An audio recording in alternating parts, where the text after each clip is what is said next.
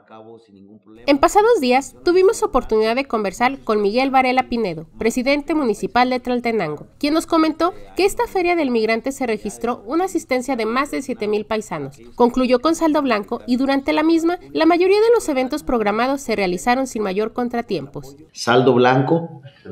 en esta edición de la Feria del Migrante no tuvimos ningún tema de vidas que lamentar eh, accidentes y robos los naturales de cada año, pero nada, nada fuera de lo normal. 100% confirmados los eventos, salvo una excepción.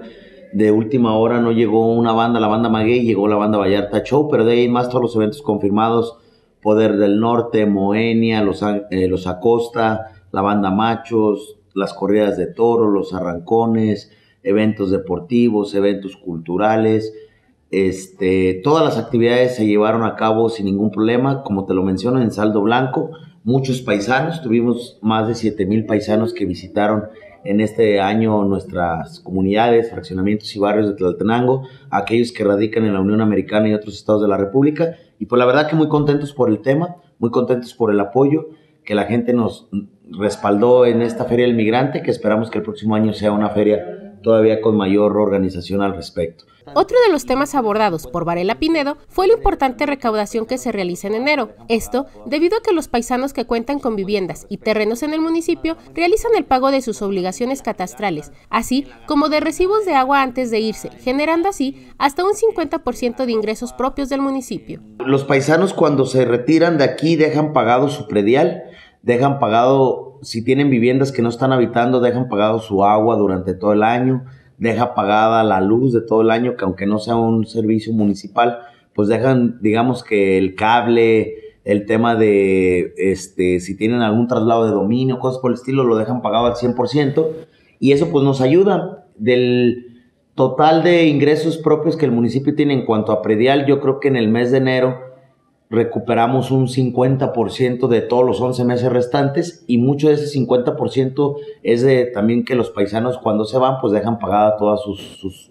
sus, impuestos al respecto. Entonces pues es una derrama importante, no solamente la que gastan en la gasolina, en la comida, en el taxi, este, en la ropa, en la bebida, en las fiestas que realizan y demás, sino que también dejan un ingreso ya etiquetado a los municipios, obviamente con el pago de todos los, eh, sus servicios que los dejan año con año, antes de regresar a seguir trabajando y seguir emprendiendo y seguir dando lo mejor de sí por los que estamos acá de este lado. Al cuestionarle sobre qué le esperaba en materia de trabajo a los taltenanguenses durante este 2020, esto fue lo que nos comentó. En este 2020 vamos a continuar con más calles del centro, con más domos, calentadores solares, con becas, con más viviendas por construir y con otras actividades importantes que primeramente ellos generan derrama económica,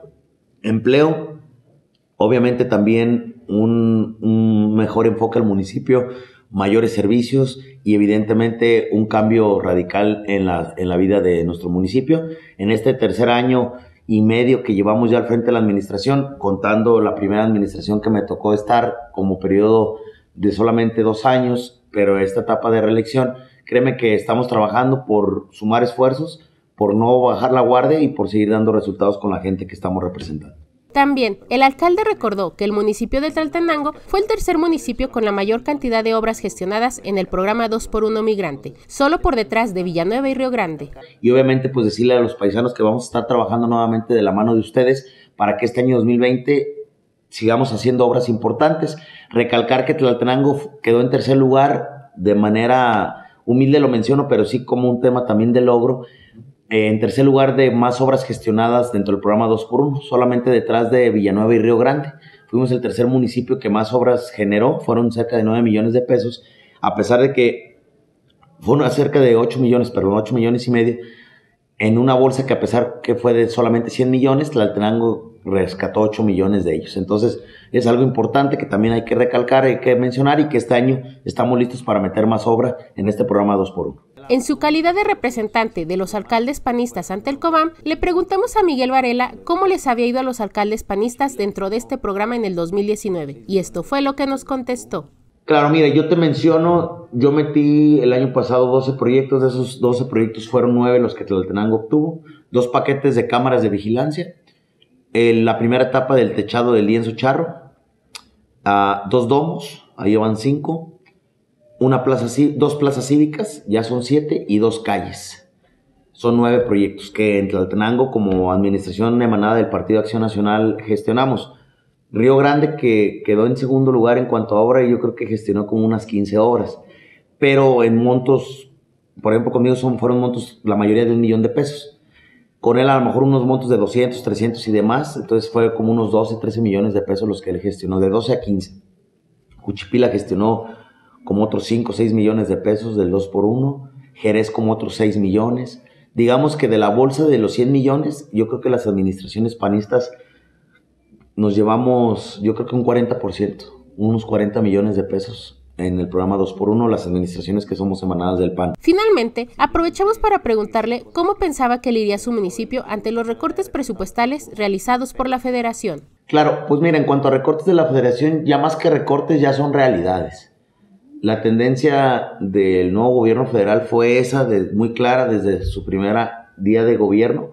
Y yo ya no hablo de recorte, yo más bien veo que ya desde que entró, pues él radicalmente cambió todo su esquema, ¿no? De, de, lo que a lo mejor en otras administraciones de manera federal se venía dando, cómo se gestionaba un recurso, cómo se hacía otro, otro recurso. En ese sentido, este, pues se respeta, a lo mejor no en todos los aspectos estamos de acuerdo, hay cosas que veo buenas de las que está haciendo, hay cosas que francamente desde mi óptica personal o idea de gobierno creo que le está faltando, pero ya el tiempo lo dirá, no soy quien para juzgar, simplemente creo que sí hay cosas que por ejemplo, el que el gobierno federal haya recortado el 3 por 1, pues sí nos pega.